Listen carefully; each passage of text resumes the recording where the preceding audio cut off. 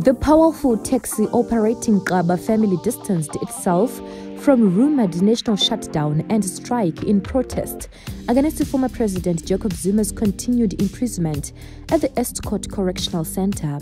In a candid interview with independent media, Mandla and Thembinkosi Gcaba two of seven brothers expressed disappointment that their family name had been linked with the anarchy that had gripped KwaZulu-Natal and Gauteng. This comes as a voice note circulated on social media that the family had donated its transport services to people to head to the Estcourt Correctional Center as part of a bid to mount pressure on authorities to free Zuma from his 15 month imprisonment at the correctional facility.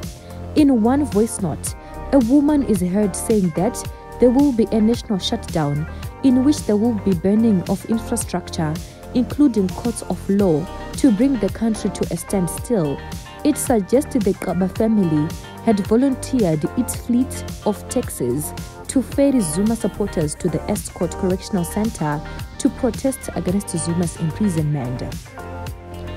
Mandla Gcaba said although the family had advocated for the release of their uncle, Zuma, they were opposed to the looting, violence, and destruction of property that had engulfed both KwaZulu Natal and Gauteng in the past week.